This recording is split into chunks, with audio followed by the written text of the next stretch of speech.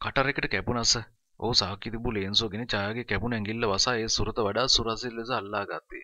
මිතුරාගේ දැසල් රැඳි ආදරේ නාලක පසක ඉඳ අපූර්වට බලා වුණේ. යන් එන්න උඩට බෙහෙත් ටිකක් දාන්න. අසංක ඡායාගේ දකුණත ලේන්සෙන් තද කරගෙනම ඇය උඩුමහලට රැගෙන ගියේ. මූ ෂුවර් එකටම ජයමංගල ගාථා වරද්ද ගන්නවා. නාලක ඡායා නැවැත්වූ වැඩේ කරන්නට සාරි අතරගෙන සිටුවේ. ඉපාස දැන් ලේ යන්නේ. ඡායා අසරණ වූ වෙතින් සුරුතු මුදා ගන්නට සිතා කීවයි. මේ තරම් Taman ලංවන්නට එපායයි ඔහුට වැඳ වැටි කියන්නට ඡායාට සිතුනි. ඔහොම ටිකක් ලේන්සෝ තද කරලා අල්ලගන්න. පණ්ඩිතයා නොයි. ගොඩාක් කැපිලා. ඡායාට බැලුනේ තමාගේ ලේ තැවරුණු අසංග කියලා නිල් පැහැක ලේන්සෝ දෙසේ. අසංග සාක්‍ය වූ යතුරුගෙන කාර්යාලයේ දොර ඇරියේ. එන්න. ඇය කාර්යාලයට ඇතුළු වී ඇඳුම් කන ඇඟිල්ල ඔහුගේ ලේන්සින් තදින් මිරිකාගෙන අසංග කාර්යාලය බිත්තිය කොනක ගසති වූ ප්‍රතිමාධාර පෙට්ටියෙන් සැවුලුන් බෝතලයක් තවත් බෙහෙත් කෝපියකුත් පුළුන් කැබල්ලකුත් අතරගෙන ඡායා දෙස බැලුවේ. මෙහෙම ඉඳගන්න ඡායා. ඡායා අසරණව ඉඳගත්තාය. ඔහු කිසිදු කතාවක් නැතුව පුටුවක් ඇය ළඟටම ඇද වාඩි වී ඇගේ සුරතගෙන ඔහුගේ කකුල මත තබා ගත්තේ. ඡායාගේ ඇස්වල කඳුළු පිරුණේ බලා ඉද්දිමේ. සර් පව් වැඩක් කරන්නේ. මට පුළුවන් බෙහෙත් ටික දාගන්න. සර් යන්න. ඡායා ඇඬුම්බරව කීවාය. තුවාලකට බෙහෙත් දාන එක පව් වැඩක් කියලා මොන දහම් පාසල් පොතේ ඡායා තියෙන්නේ. ඔහුගේ ඩෙනිම් කලින්සේ ලේ තෙවරිතයි බීන් ඡායා අත ඒ කකුලෙන් ඔසවා ගත්තාය. ඔහු හප් කියා අත නැවතත් කකුලට තද කළේය. ඡායාට ඇඬුම් අතරින් සිනා ආවේ. හප් කිව්වේ මම පොඩි ළමයෙක් කියලා හිතලා වෙන්නේ නැති. අසංග මෘදු අත අල්ලා ඡායාගේ දකුණේ තිබූ ලේ ඉවත් කර බෙහෙත් දමද්දී ඇගේ ඒ දකුණතම හිරි වැටුණි. ඔහුගේ හිස තිබුණේ ඇගේ ලැමට මදක් ලංවැ. දැන් දැන් ඒ හිසත් කුඩු පට්ටම් වෙන්නට පපුව පිපිරිත ඇයට සිතුනි. හොයේ කුඩා ඇඟිල්ලට බෙහෙත් දැම්මේ වඩාත් මෙලොක් ලෙස ඒ සුරත අල්ලාගෙන. බෙහෙත් දමන අතරවාරයේ ගීපාරයම අසංක හිස ඔසවා තෙත්තු ඡායාගේ දෙනෙත් දෙස බැලුවේ. ඇයි අඬන්නේ කියා ඌ ඇසුවේ නැත. සර් ඡායාට නිකම්ම කියවෙනි. අසංක ප්ලාස්ටරේ ඒ ඇඟිල්ල වටා කරකවමින් හිස ඇසුවේ. ඇයි? ඇයි මෙහෙම දේවල් කරන්නේ? ඇයි ඡායාට අසන්නට ඕන ඇවිය. ඒත් ඇය තොල් පිට පෙරලා නිහිඬුවයි. ප්ලාස්ටරේ දම ආහාර වූ පසුත් අසංක ඒ සුරත අල්ලාගෙන මුන්නේ. ඡායාට අත මුදා ගන්නට මහා ලෝභකමක් දැන්නේ. පාත්තේ ඒ සුරත සිප ගන්නට ඇති වූ ආශාව ඔහු මැඩගත්තේ සසීරුවෙනි. මොහොතකට පසුව දෙදෙනාම එකම විටක හිස එසවුවයි. ඒ ඇස් අතර ලං ලංව හමු වේද එකම විටය. තාම රිදෙනවද? ඔහු පාත්තරින් ඇසුවේ. දැන් රිදෙන්නේ අත නෙමේ පපුව. එයයි කියන්නට සිතුනද ඡායා අසරණව නැතයි කියා හිස වෙනුවාය.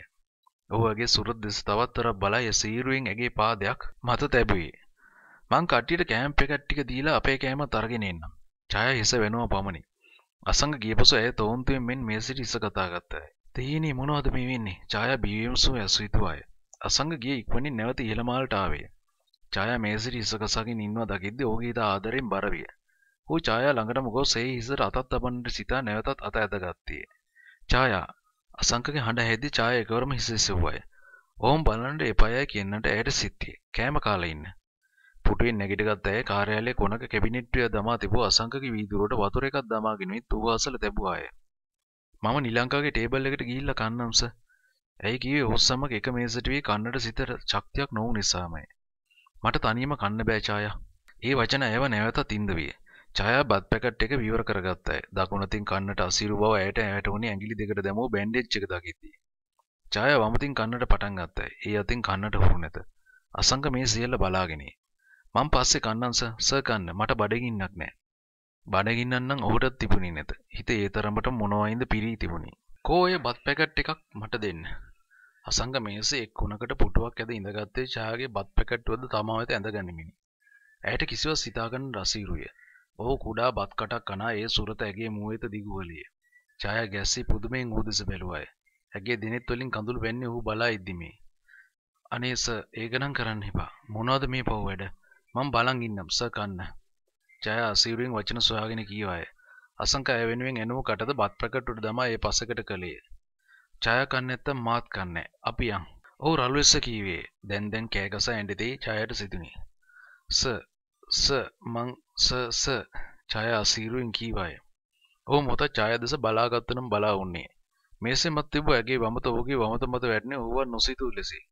ඡායා බිම් බලාගෙන ඉකි බින්දාය. වාගේ ජීවිතේ මට සර් කෙනෙක්ට වඩා කෙනෙක් වෙන්න බැරි ඡායා.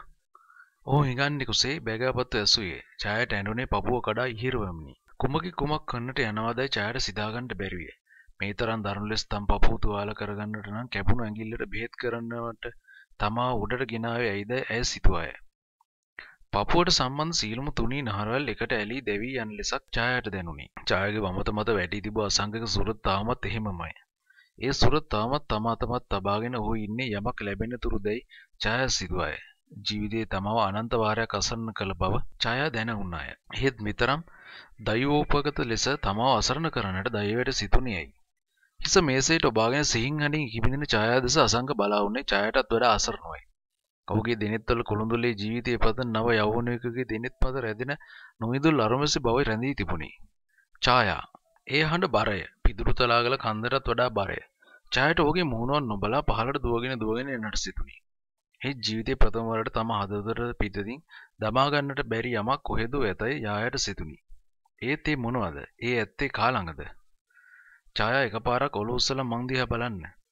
අසංග වඩාත් කුළුඹර ලෙස කීවේ. ඡායා හිස ඇසුවේ කඳුලින් පිරී ගිය දිනුවන් වසාගෙනම.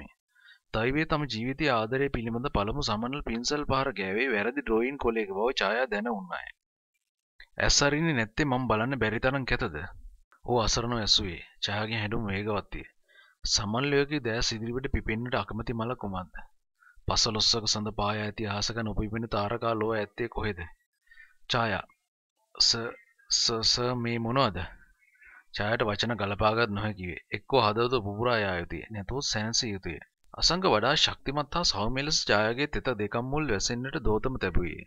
ඡායාගේ දෙතුල් දෙනෙත් වේගෙන් ගැහෙන්නට විය. නොඉඳුල් දුයුතියගේ දෙතුල මත කුළුඳුලි පොපියෙන මුද්දු අනුරා පැය ඉදිරියේ සංසුන් කරගන්නට තරම් ශක්තිමත් පිරිමිලාය කොහොතුළු නොවිය. අසංක වඩාත් ආදරණ ලෙස ඡායාව නැගිට්ටුවා තම වතර බර කරගත්තේය. ඡායාව උන්නේ ගැහිමිනි. දැන් දැන් තමාව සීසුම් ඇද වැටෙදී ඇයට සිතිනි. සර් ඡායා උගරින් කතා කළාය. ඒත් ඊට වඩා එක වදනක් හෝ ඇයට කතා කරගන්න ඉඩන්න ඕනි.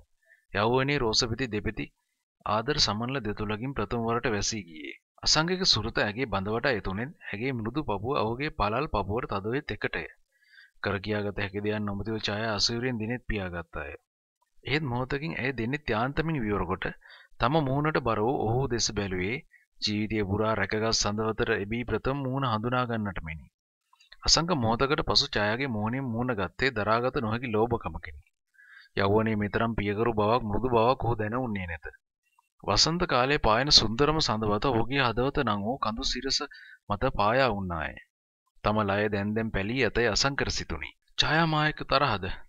ඔහු ඇඩුම්බර වැස්සුවේ. තමා මෙතරම් ආදරණීය පිරිමියෙකු බව ඔහුවත් දැනගෙන නොඉන්නේ. ජීවිතේ මන්දස්වර හදවතේ කොනක සිරස තිබුණිද? ඡායාට ඔහුගේ පපුවෙන් හිස ඔසවන්නට ලෝභ සිතුනි. සිතුනද ඔහු වඩාත් අදින් ඇගේ බඳ සිරකොට අල්ලාගෙන උන්නේ. මොනවා හරි කියන්න බබා තරහ නම් බනින්න. මං මං තරහ නෑස. ඒත් ඒත් ඇයි මෙහෙම කළේ? ඒ හඬ තුළු යුවතියකගේ අසරණ බව මෙන්ම කුණුදලේ පෙම්මතියක වූ යුවතියකගේ චමත්කාරයත්වය. ඔහු උන්නේ නිර්මල බව රස විඳීමිනි.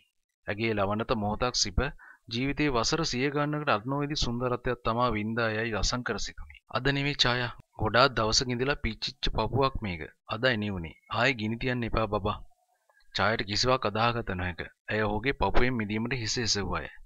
බෑ එච්චර ඉක්මනට ඔයාට මගින් ඈත් වෙන්න බෑ. ඈ සරම දෙනෙත් පියාගත්තාය. ආදරේ රන් දියවර තම දුප්පත් නිම්නේම දුවාගෙන ගලා යන්නේ ඇයිදැයි ඇය සිතුවාය. ඔහුගේ වචන තුනී අල්පෙනිති තුඩක් මෙන් ඇගේ මෘදු ලය බිඳගෙන පපුවේ ගැඹුරටම කිඳා බැස්සිය. ඒ තුඩ එළියට ඇද දමන්න ඇය ඔහුට කියන්නට ඇයට සිතුනි. "සර්" කියාගත හැකි යමක් සිතට නොආවද ඇය හඬ බින්දාය. ඔහු බඳවට එතුන අත තවත් දැඩි කළේ. ඒ මෘදු පපුව දැන් තම හදවතට බද්ධ වී අවසානයේ ඔහුට සිතුනි. එය ඌල්ලා ඉවත දැමිය හැකිද? මුකුත් කියන්න එපා ඡායා. අපි මෙහෙමම ඉමු. ඉන්න පුළුවන් නම් ඇය කියන්නට කටරා වචන ගිලගත්තාය. තමා ඉදිරිපිට ඉන්න දවිය අපූර්ව පුද්ගලයාට තවම වටහාගත නොහැක. ඇය දන්නේ ඒ හදවත තම ජීවිතයේ හමු ආදරණීයම හදවත බව පමණි. කියන්න ඡායා. ඉන්න පුළුවන් නම් හැමදාම ඉන්නවස. මෙහෙම නෙමේ. සර්ගේ පය පාමුල වැටලා හරි.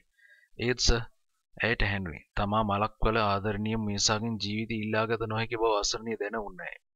අපි මෙහෙම ඉමු ඡායා. මේ ඉගෙන කෙල්ලව පපුවට තියාගෙන ලබන සතුට මොකද්ද සර්?